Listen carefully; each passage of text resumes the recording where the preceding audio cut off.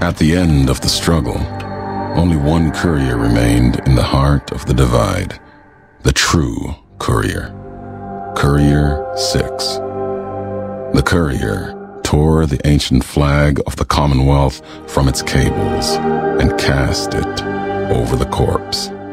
Though whether done as a sign of respect or in anger for what had been endured to reach this moment, that is unknown.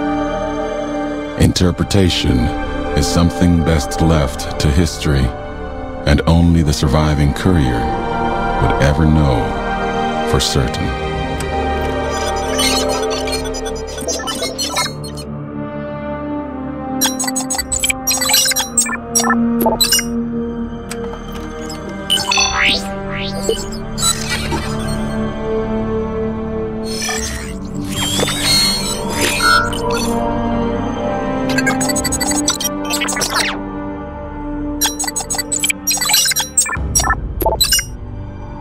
As for the courier, he turned his back on his home for the second time and made his way back, navigating the treachery of the divide.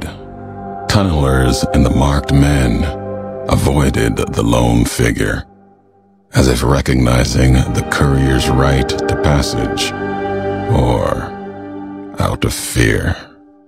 The courier walked until he stood again upon the edge of the divide. The last road he would walk before the second battle for Hoover Dam.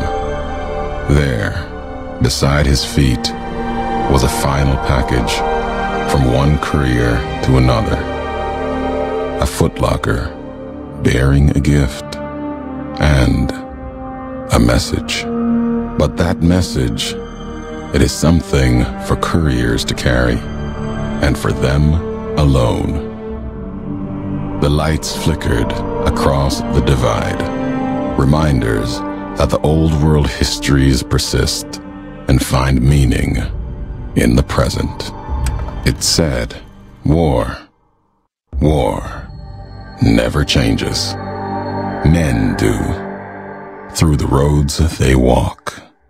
And this road has reached its end.